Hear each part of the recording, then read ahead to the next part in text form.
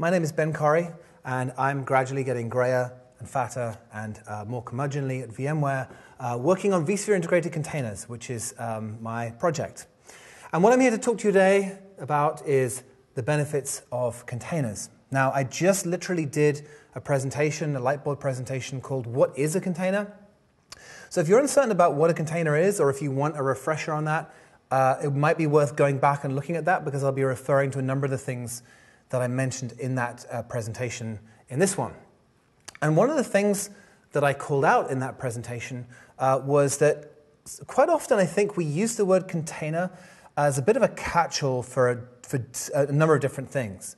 And that can actually cause some confusion. So, what I want to do is I want to call out those distinctions that I made in the previous uh, presentation. The distinctions that I made were runtime, image, and automation.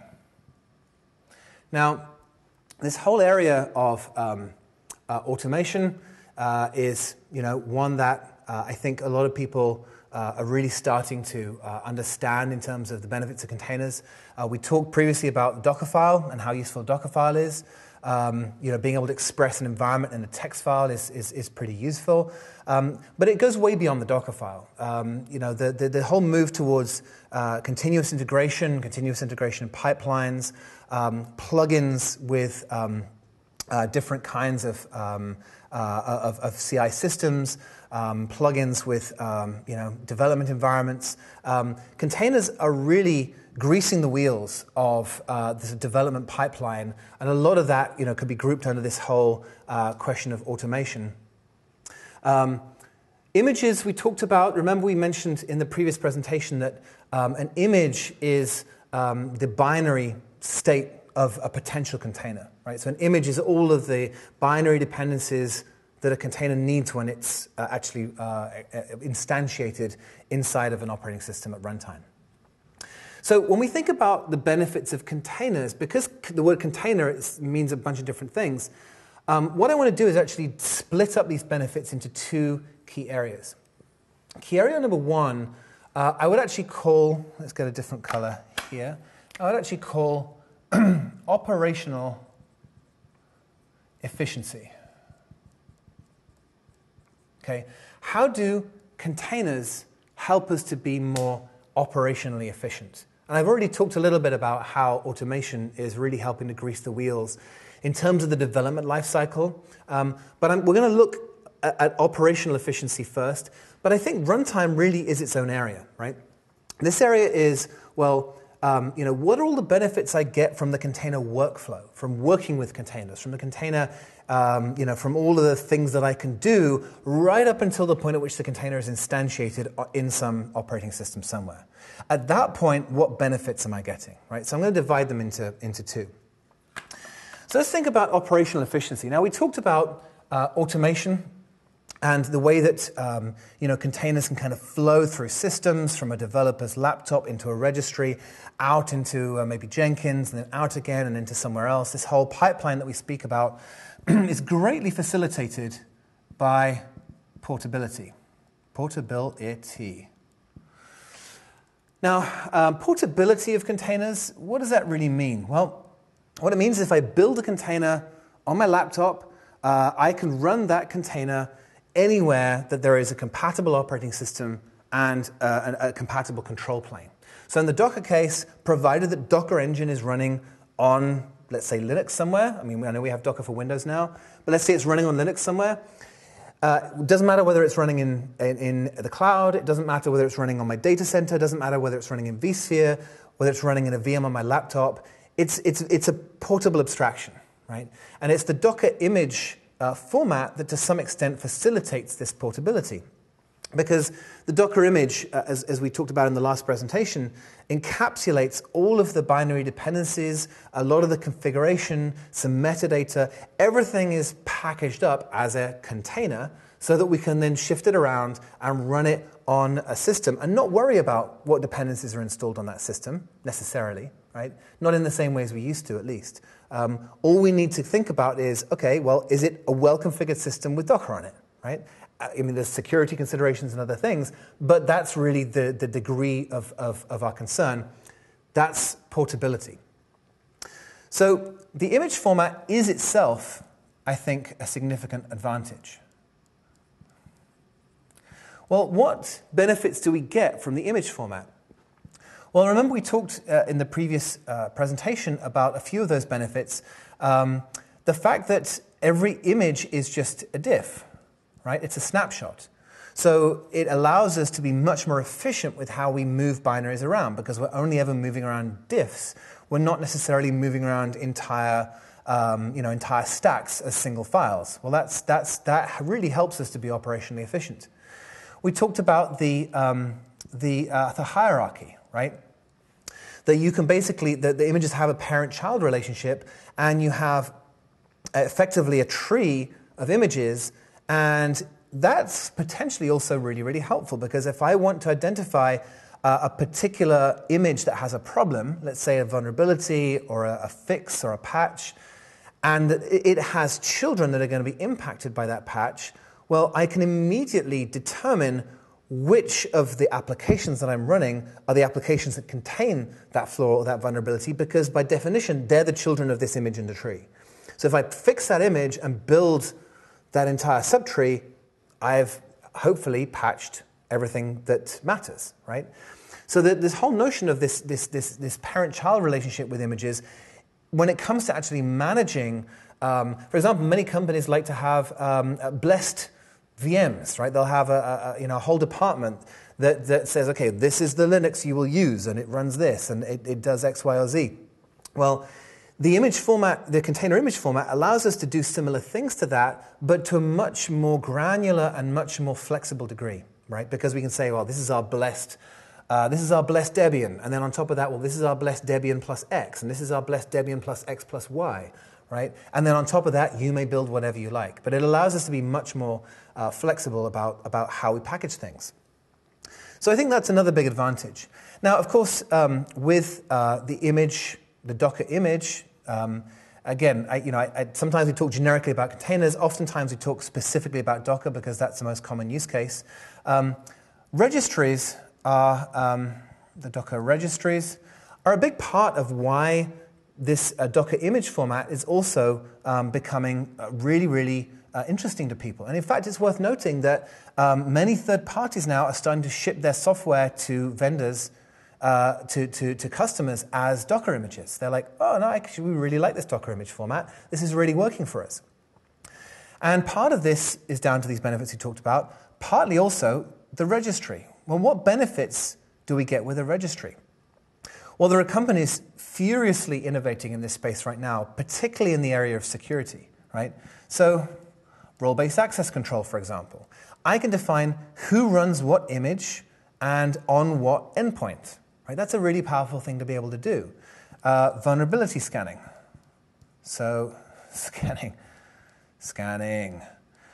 Vulnerability scanning is big business these days. Um, you know, uh, do you know i've got this image from somewhere. Someone's, one of my developers built this image. Do i know what's in it? No, maybe not right? So so vulnerability scanning is really powerful because it allows me to know exactly what is in it. And i may then even be able to apply policies around who can deploy what with certain types of vulnerability.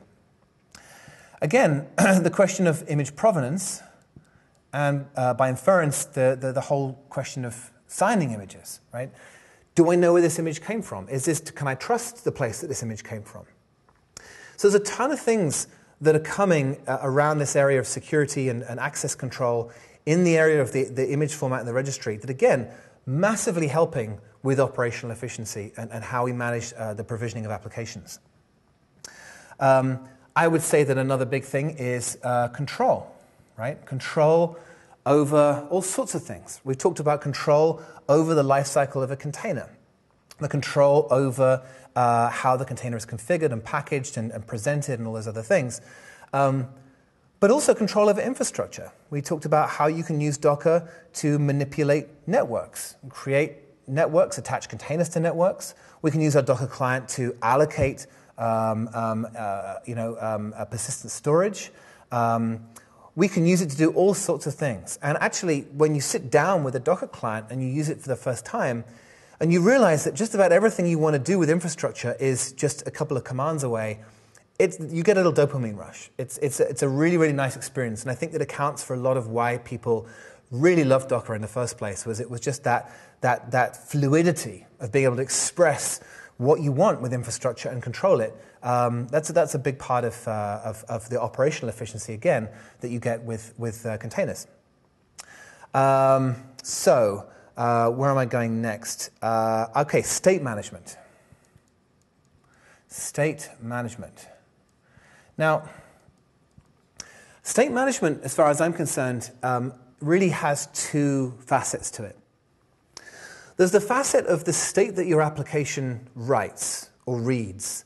Um, and containers kind of force you to think about that in a way that a, a traditional VM doesn't. so, by that I mean, well, a container has really three kinds of storage. It has the images that are, that are presented, which are fundamentally read only. It has the volumes that you can create, which are read write and persist beyond the lifecycle of the container. And then you have the container file system, which is also read write, typically, although you can configure it to be read only, and does not persist beyond the lifecycle of the container. So, so when you're actually deploying an application as a container, it forces you to think about okay, well, what is my persistent state? What is my ephemeral state? And where do I want that to go? And is it going somewhere that's backed up? Right? It really forces you to think about how you're managing state in terms of the application state. But there's also another uh, area of state management that I think is really significant when it comes to uh, thinking about the container model. And that's this notion of, um, of um, um, uh, reconfiguration, is for want of a better word. So, one of the things we've become very used to doing in production is having long running things that we gradually poke with a stick every once in a while and do something to, right? So, you know, those of you that, that, uh, that use Chef and Puppet and, and these other things, um, you know, you'll write a Chef recipe and you'll have maybe 100 instances of an application and you need to update it, you need to reconfigure it, you need to make some change. Okay, so update it. Hopefully that's worked on all these things. And what we're doing when we do that is we're taking our workloads through state transitions. So we're going from state A to state B, Maybe tomorrow I'm going to take it from state B to state C. Maybe a week later it's going to go from state C to state D.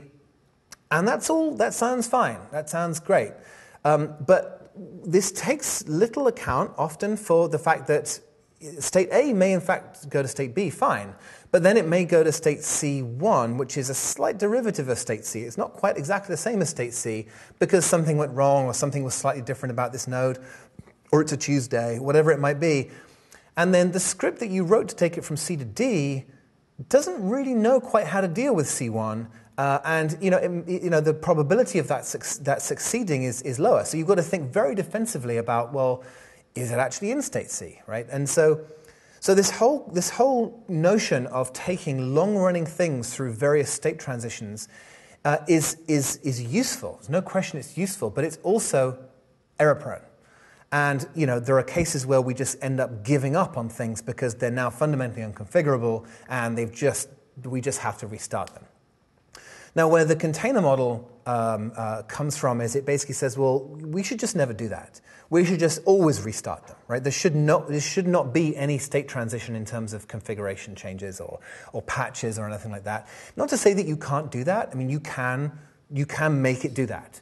But the way it's designed is it's really designed to be torn down and, uh, and brought back up again. So any update, any change you make, it's very much like a sealed appliance, right? You bring it up, you do something, it, it functions for a while, you need to update it, and you literally just swap it out, you replace it.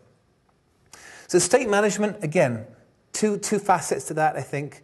Uh, the facet of application state and the facet of, of, of configuration state.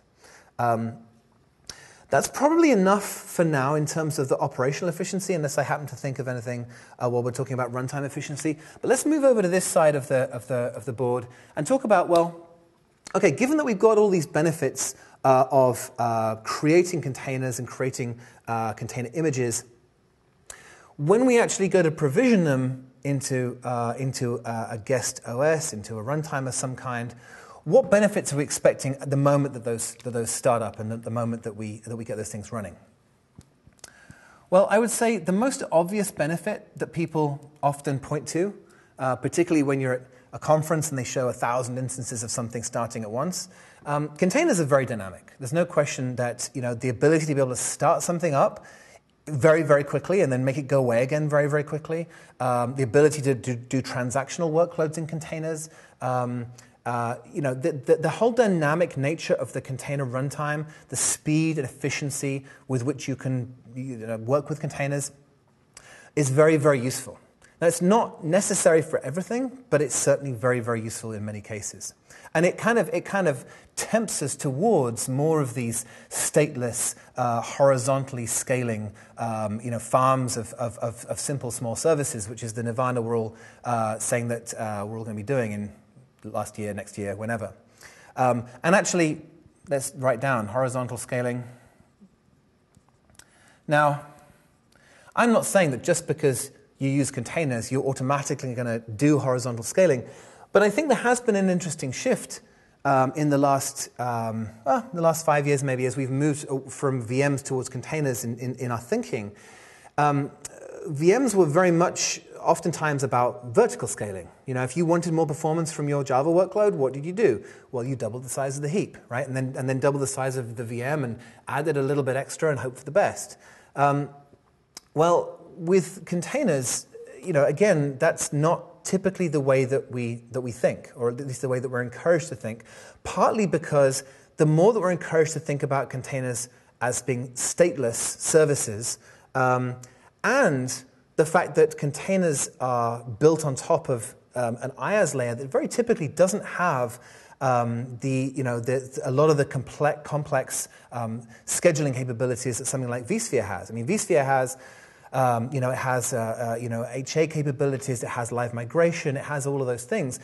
All those things are great for stateful workloads because to be able to live migrate something that's stateful, oh, it's just wonderful, right? You don't, you know, it's, it's and, and all of these things that we spent all these years building into our platform work really great with stateful workloads.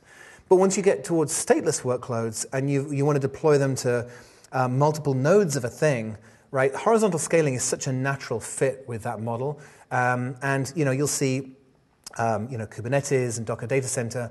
All of these uh, uh, frameworks have notions of replicas and, and instances and, and, you know, and, and rolling updates, and all of this is, is, is, is, is, is moved towards horizontal scaling. So, as part and parcel of uh, the horizontal scaling that we're talking about, we also find ourselves ending up talking about scheduling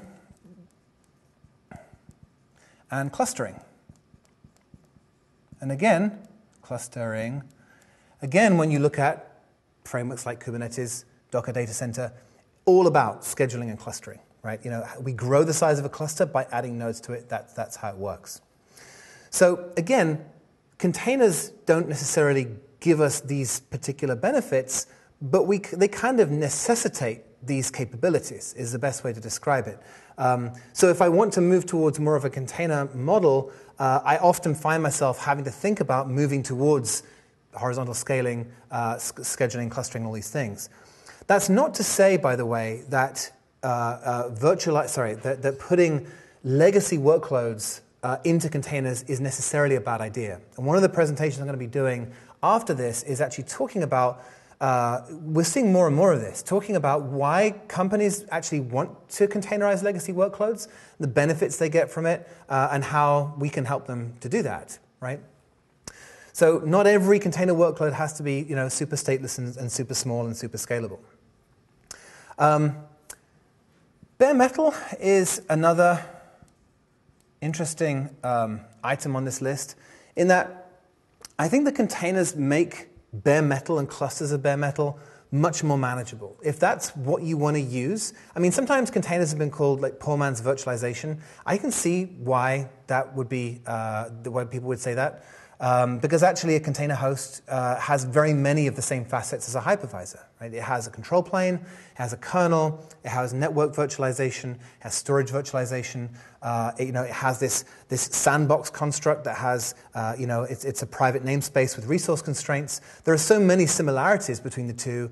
Um, and so, you know, if you're a company and, and what you need to do is you need to spin up thousands and thousands of instances of a thing, uh, a bare metal silo running some kind of uh, container engine may well be exactly what you need. Uh, there's been a lot of um, uh, presentations from, um, from uh, Shopify who have done exactly that. They have you know, their entire um, application built into containers. They have an on-premise data center, and they just scale it up and scale it up and scale it up. Um, and if you're running thousands and thousands of the same thing, I can see why that would be, why that would be uh, worthwhile. Most of these VMware's customers, however, are still running lots and lots of different things. Right? Everything from Windows desktops to analytics workloads to databases to uh, Hadoop to uh, you know you name it. They're, they're, they're, virtualized just about everything. And so in that heterogeneous world of virtualization, there is still very much a place for, uh, for the traditional VM model. Um, but I can see why you know bare, containers make bare metal easier to consume. is, is, is the, the, way I would put it. Um, so uh, the final thing, actually, I would add to this, which I probably should have added at the start because it's one of the more obvious things to, to add, is consolidation. And by consolidation, what I mean is that you can run with containers. You can run multiple of a thing inside of, uh, inside of an operating system and have those things be isolated from each other, right?